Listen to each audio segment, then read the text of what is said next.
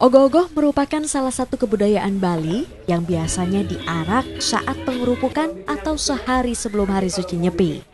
Namun, di masa pandemi COVID-19, pengarakan ogoh-ogoh terpaksa ditiadakan. Untuk terus mengenalkan budaya kepada generasi penerus, puluhan anak-anak di kota Denpasar diajak membuat ogoh-ogoh mini. Digelar di kebun vintage, mereka begitu antusias merangkai botol, kertas koran bekas, serabut kelapa, kain dan lem untuk dijadikan ogoh-ogoh mini.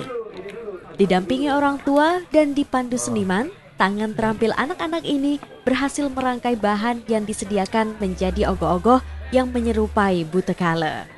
Berbagai bentuk ogoh-ogoh mini berhasil mereka buat. Mengadakan acara ini untuk mengajarkan anak-anak tentang budaya ogoh-ogoh di Bali sambil belajar bikin mini ogoh-ogoh. Uh, sejauh ini pesertanya dari Bali, kebanyakan dari Denpasar uh, dan sekitarnya. Uh, kebanyakan anak lokal sih Pak, karena memang kita pengennya itu tujuan kita menurunkan budaya ini balik lagi ke anak-anak lokal yang akan meneruskan ke depan. Uh, hari ini tuh bukan lomba, tapi karena mereka baru belajar, nanti setelah selesai ogoh-ogoh ini akan kita arak-arakan di weekend market bersama gong gamelan juga harapan kami uh, budaya ini akan selalu langgeng uh, dan anak-anak tetap ada harapan anak-anak yang suka ogoh-ogoh akan terus uh, semangat dan mereka tidak kehilangan budaya ini. Punya bermacam-macam budaya di sini. Nah khususnya sekarang kan kita mendekati hari Nyepi biasanya satu hari sebelum Nyepi itu kita punya ogoh-ogoh, parada ogoh-ogoh. Cuman karena di masa ini parada ogoh-ogoh ditiadakan.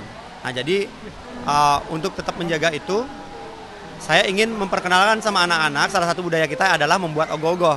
Nah itu yang coba saya ini kasih tahu mereka. Uh, tidak ada kesulitan karena basicnya anak-anak itu uh, sepengalaman saya dari waktu kecil sampai melihat adik-adik atau anak-anak saya, nah itu mereka pasti tertarik sama ogoh-ogoh. Jadi uh, saya memang sengaja merancang kelas ini uh, karena sekarang kan satu ogoh-ogoh tidak ada. Mereka nggak dapat hiburan untuk melihat ogoh-ogoh besar.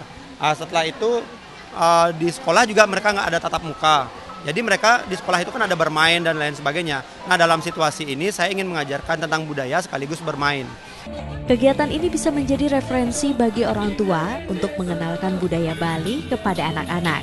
Sekaligus bisa untuk mengisi waktu luang di sela-sela belajar secara daring. Sang Putu Aryase, Kompas Dewata,